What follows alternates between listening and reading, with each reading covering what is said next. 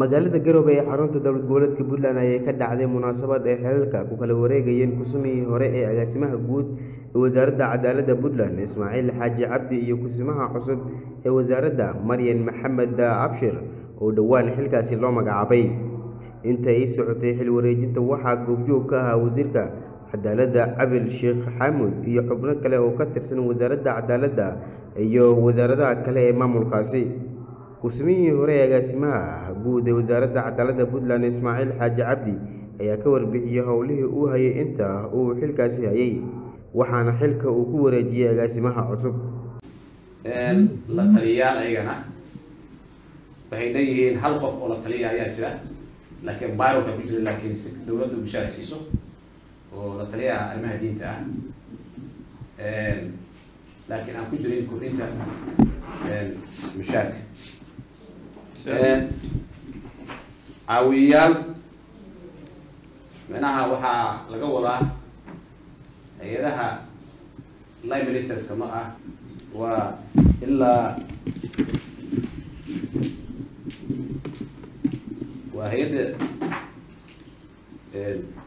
u n f b a iyo n d p iyo unicef uu rasmiga noola shaqeeya mid kastana wuxuu ku isman yahay mashaariic. Agaasimaha cusub ee wasaaradda maryan maxamed abshir ayaa tilmaamtay inay halkeeda ka sii wadi doonto howlaha wasaaradda.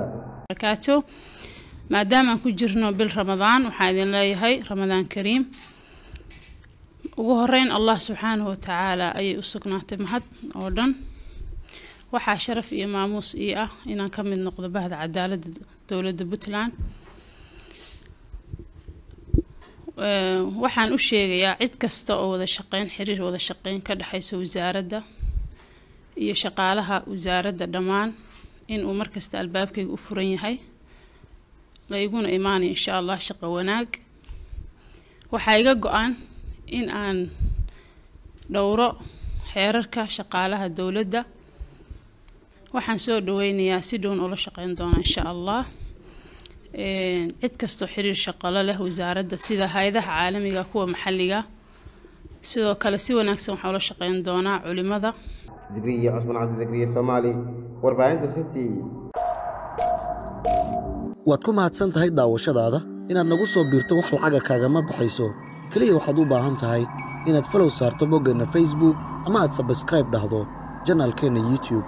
Adigoo bartilmaameedsanaya city somaali t v an rediyo la jaanqaad warbaahinteenna oo hel warar iyo barnaamijyo adiga kaa hadlaya